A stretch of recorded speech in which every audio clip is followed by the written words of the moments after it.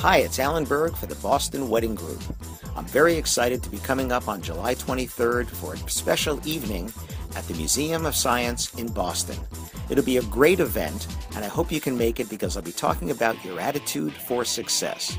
That's right, it's your own attitude and how you perceive things that determines how much success you will or won't achieve. See, I believe that the people that achieve the most success don't have the most ideas and don't have the most money. What they do is they take the better action. And I'll be talking about that, and I hope you can make it. July 23rd, the Museum of Science Boston for the Boston Wedding Group. It's Alan Berg. I hope to see you there. Thanks.